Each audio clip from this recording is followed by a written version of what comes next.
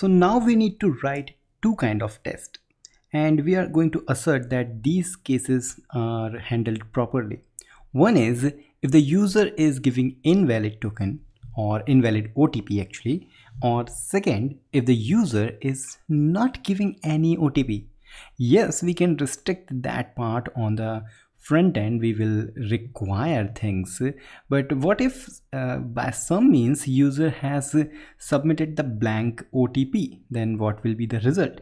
We need to make sure that error message will generate it. So let's go to the test directory features test and verify test. Here we have lots of tests. So let's write another test here. And this test is like uh, invalid OTP returns with error message. So I will say invalid OTP returns error message. I think this is good. So how we can assert this?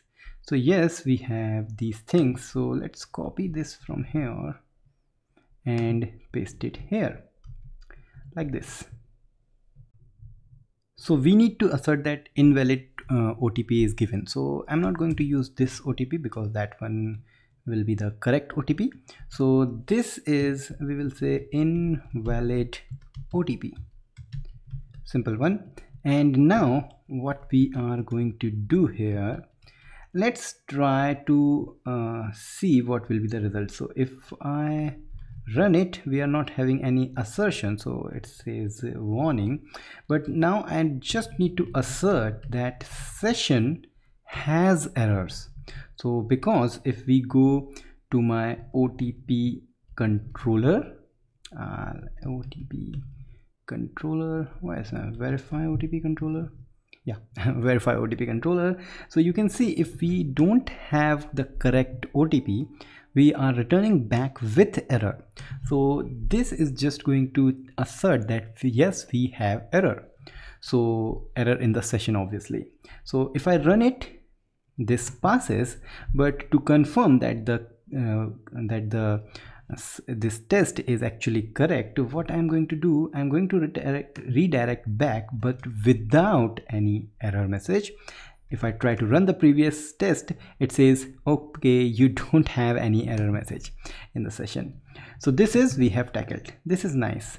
But now next is we will say no otp returns message. That means if there is no otp so let's write a test so if no OTP is is given then it uh, return with error. It's like OTP is required. Required we have used actually on the OTP request which we have given here. We are writing test for this. So here on the verify OTP test. Again we are going to do the same thing but this time this is not an invalid token. There is no token actually. So null is going to be there. So if I run it it says some problem. It says the given data is invalid. Now we are validating. So now this goes to this OTP request and this is returning the error that the given data is invalid. And that's the case. That's why OTP request is created.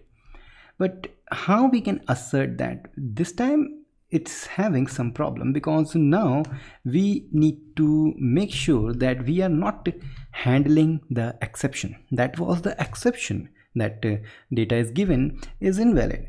But in reality we know the if the data is invalid it just redirected back with the error. So we need to say yes i want the exception handling. So yes now with exception handling if i run it yes we have. And to verify if i will say uh, otp is not required so i have just written that run the test and it says error because otp is not required here so let's say it is required and running the test and this is good. And you also do one thing. You can specify what actually in the uh, session you have.